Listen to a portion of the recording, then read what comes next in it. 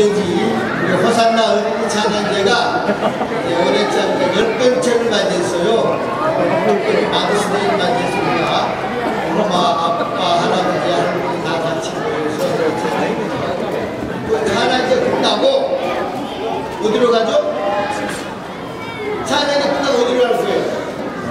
가서 맛있는 거 먹고 집에 가세요. 네.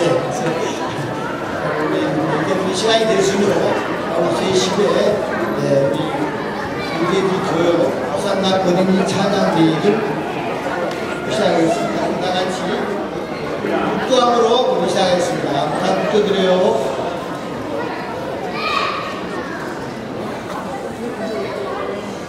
참 좋으신 아버지 하나님 감사합니다.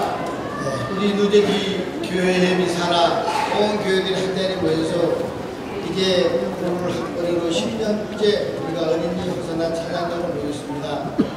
해마다 아버지 하나님 함께하여 주셔서 우리 어린이 찬양으로 만나서 우리 유대지 사는 모든 교회들이 한마음 한뜻되게 하여 주시옵시고 또 어린이들, 어린이들로 말미암아서 각 교회가 서로 풍성할 수 있는 축복의 은혜를 주시면 감사합니다. 오늘 저희들 나와서 아버지가 찬양을 할 때 이 찬양이 아버지께 상가되는 찬양되게 하여 주시옵시고 이 말미암아 더욱 우리 어린이들도 힘차고 씩씩하지 않아 잘할 수 있는 신앙의 뜻을 되게 하여 주시옵소서.